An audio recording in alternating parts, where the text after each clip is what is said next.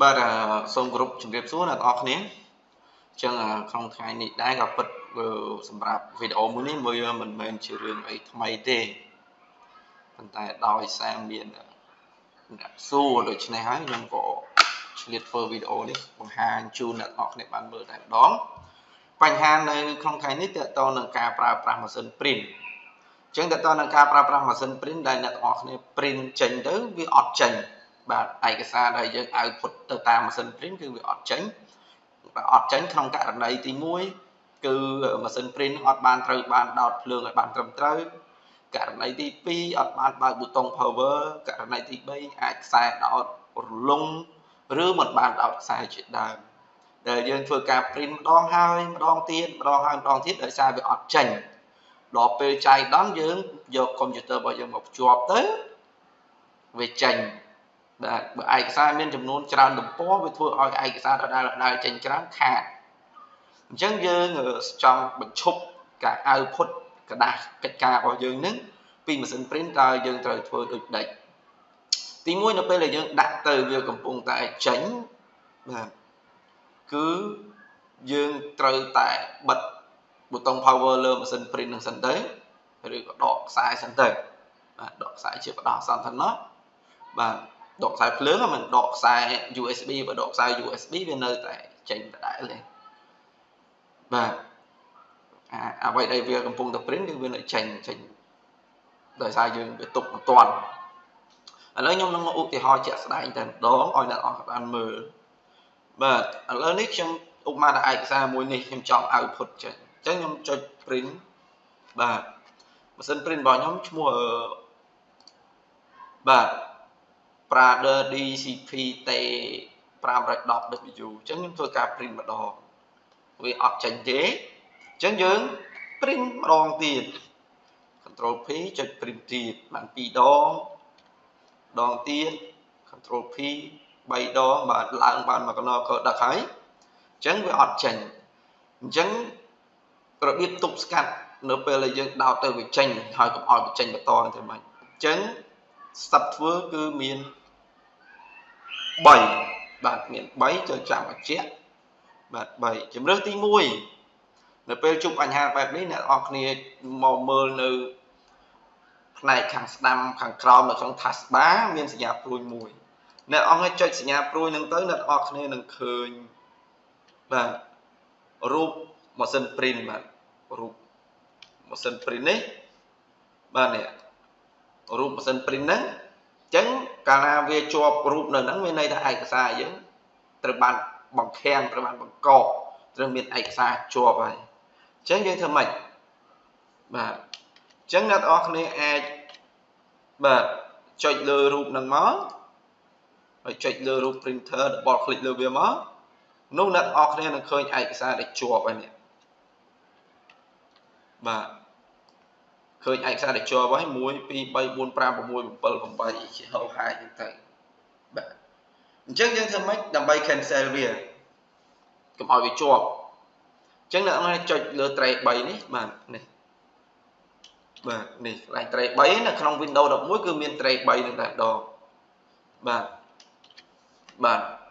ចឹងយើងចុចកន្លែង tray 3មកយើងមានពាក្យឃើញពាក្យថា cancel all អញ្ចឹងយើងចុច cancel all មកគឺ វា cancel ឯកសារដែលយើង print ជាប់នៅហ្នឹងបាទហ្នឹងករណីទី1ដែលយើងធ្វើអញ្ចឹងករណីទី2គឺយើងមើលនៅលើអេក្រង់កុំព្យូទ័រយើងយើងរកពាក្យថាបាទ control panel បាទនេះកុំព្យូទ័ររបស់ខ្ញុំឃើញនេះ control panel បាទបាទនេះ control panel បាទនេះ control panel បាទបាទចុច control panel ឡើងមកបាទហ្នឹងចុច control panel ឡើងមកបាទបន្ទាប់មកទៀតអ្នកអស់គ្នាចុចកន្លែងពាក្យ view by នេះ view by ហើយកន្លែងនេះយើងរើសយកពាក្យថា small icon នៅពេលរើស small icon យើងរើសយក icon មួយគេដាក់ថា device and printer អញ្ចឹងយើងចុច device and printer មក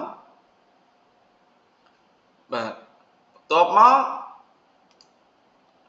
យើងទៅបើកបាទបើកគេ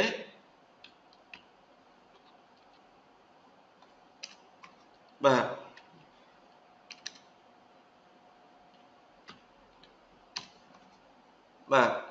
បើកម៉ាស៊ីន print ដែលយើងជាប់ឯកសារគឺយើងចុចនៅលើពាក្យថា printer and scanner អានេះគឺ Windows 11ប៉ុន្តែបើ Windows 10គ្រាន់តែចុច control panel printer and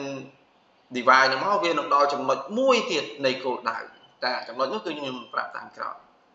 អញ្ចឹងយើងចុចកន្លែងពាក្យថា printer and scanner ហ្នឹងមកបាទ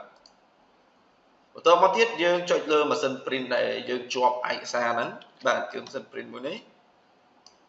បាទអញ្ចឹងយើងចុចសញ្ញាព្រួញយើងជ្រើសយកពាក្យថា open print sequence open print sequence ចុច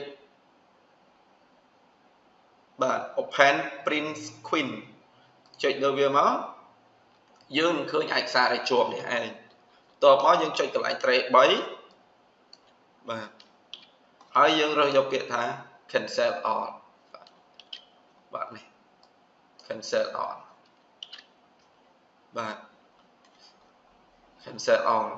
ប៉ុន្តែបើសិនជា Windows 10ដល់ពេលដែលយើងចុចកន្លែង control panel ដែលខ្ញុំបានបង្ហាញមកបាទវានឹងដល់កន្លែងនេះតែម្ដងហ្នឹងបើ Windows 10 បាទវាដល់ចំណុចហ្នឹងតែម្ដងអញ្ចឹងមកដល់ចំណុចហ្នឹងអ្នកនរគ្នាត្រូវយក mouse pointer ទៅចុចលើម៉ាស៊ីន print ដែលយើង print ជាប់ឯកសារហ្នឹងមកបាទ double click លើវាមកបន្ទាប់មកយើងនឹងឃើញឯកសារដែលវាជាប់នេះព្រោះយើងបានបិទម៉ាស៊ីន print ណាវាលែងបន្តចេញហើយប៉ុន្តែឯកសារដែលមិនចេញវាមាននៅហ្នឹងបាទអញ្ចឹងយើង select លើឯកសារយើងដោយចុច control បូកអក្សរ A បាទ control A លើហ្នឹងមក បាទហើយយើងចុចម៉ៅខាងស្ដាំរើសយកពាក្យថា can cancel បាទនេះ select វាទាំងអស់ហើយជ្រើសរើសយកពាក្យ cancel បាទអញ្ចឹងឥឡូវខ្ញុំចុចឲ្យមើលអញ្ចឹងនៅពេលដែលយើងចុច cancel វាសួរយើងតើយើងប្រកាសជាចង់ cancel មែនអត់បាទអញ្ចឹងយើងចុច yes មកព្រោះអីយើងចង់លុបវាចោលបាទ ចុច yes គឺវាបាត់អស់ហើយអញ្ចឹងយើងអាចបើកម៉ាស៊ីន print យើងដំណើរការយ៉ាងធម្មតាវិញដោយមិនមានឯកសារអីចេញមក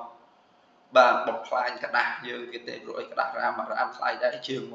10000ខាតទឹកឆ្នាំទៀតខាតទាំងពេលវេលាទៀតមិនស្រួលអាចរងនឹងការស្ដីបន្ទោសពីថ្នាក់ដឹកនាំថាយើងធ្វើការបានមើលធ្វើប្រហែសនឹងឯងអញ្ចឹងវីដេអូនេះគឺខ្ញុំចង់បង្ហាញគឺអ្នកនរគ្នាតែប៉ុណ្្នឹងទេបាទអរគុណច្រើន